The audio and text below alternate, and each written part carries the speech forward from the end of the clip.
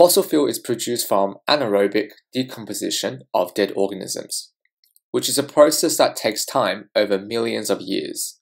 This is the reason why fossil fuel is regarded as non-renewable source of fuel, as the rate at which we are using it, it is much faster than its formation.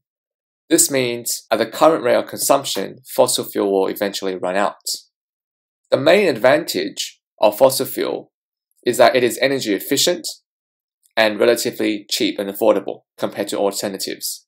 The use of fossil fuel is associated with numerous negative environmental and social implications. The emission of greenhouse gases contributes to global warming.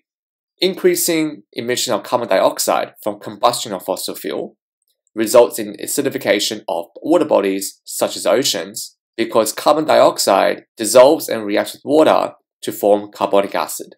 Combustion of fossil fuel also produces particulates that are damaging for lungs and thus can lead to many lung diseases.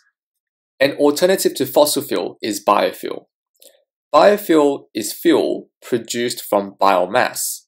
Biomass refers to materials produced from living organisms such as plants and animals. Two main examples of biofuel that are becoming increasingly common are bioethanol and biodiesel both of which will be the topic of discussion of this video.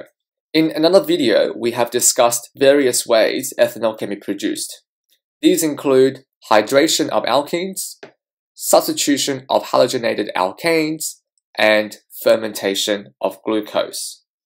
In this video, we'll be focusing on fermentation, as fermentation of glucose, which is an example of biomass, produces bioethanol and carbon dioxide as the byproduct. Biodiesel is produced from vegetable or animal oil via base catalyzed ester hydrolysis reaction using an alcohol such as ethanol as the other reactant. We will discuss this type of reaction in the ester video. The important point to make here is that no matter what reaction, biodiesel, like all other biofuels, is produced from biomass. Since biofuel is produced from biomass, which can be regrown much more quickly than fossil fuel, it is considered as a renewable fuel source. This also means it is sustainable. Bioethanol and biodiesel are also biodegradable. So in the case of any spills, there are fewer environmental implications as they can be degraded and converted to other compounds by living organisms. Another phrase you'll hear being thrown around is carbon neutral. This is referring to the fact that combustion of biofuel still produces greenhouse gases, such as carbon dioxide. But since the production of biofuel requires growing more plants to increase the abundance of biomass, the emitted carbon dioxide can be reused in photosynthesis to produce even more glucose. In a way, the use of biofuel does not produce additional amounts of carbon dioxide, therefore it is described as carbon neutral. Combustion of biofuel also produces less particulates compared to fossil fuel. This means there are fewer health implications, such as lung diseases. You may have also noticed that bioethanol and biodiesel contain oxygen in the molecule. Partial oxidation of biofuel means less oxygen is needed for complete combustion. For example, if we compare biodiesel with diesel, diesel requires 27.5 oxygen moles for every 1 mole of diesel for combustion, whereas 1 mole of biodiesel only requires 20.5 moles of oxygen gas. This means combustion of biodiesel is less likely to produce soot and carbon monoxide, which are toxic products of incomplete combustion. In terms of practicality, biofuels are generally regarded as inferior to fossil fuels. This is because they are less energy efficient. For example, ethanol has a much smaller molar enthalpy change than octane.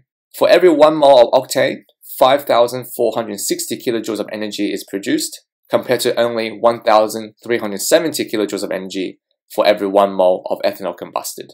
If we compare biodiesel and diesel, the difference is much smaller but remains significant. 42 kilojoules per gram of biodiesel compared to 45 kilojoules per gram of diesel.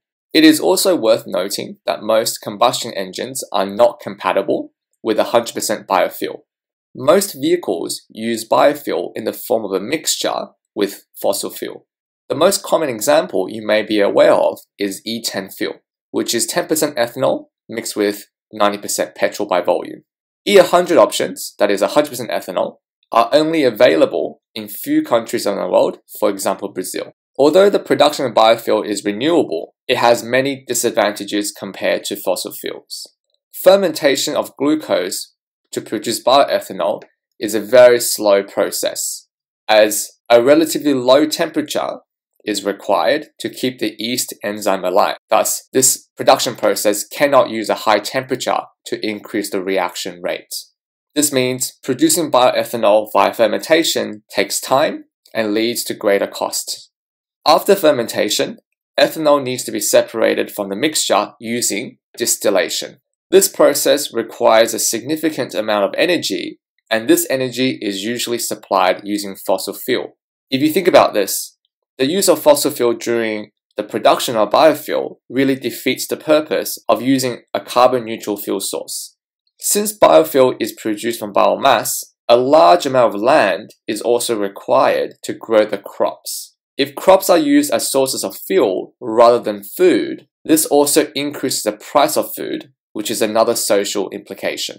In addition to land, a large number of fertilizers is required to grow the crops. The use of fertilizers leads to soil erosion, land and water pollution. Therefore, using biofuel is actually indirectly associated with negative environmental implications.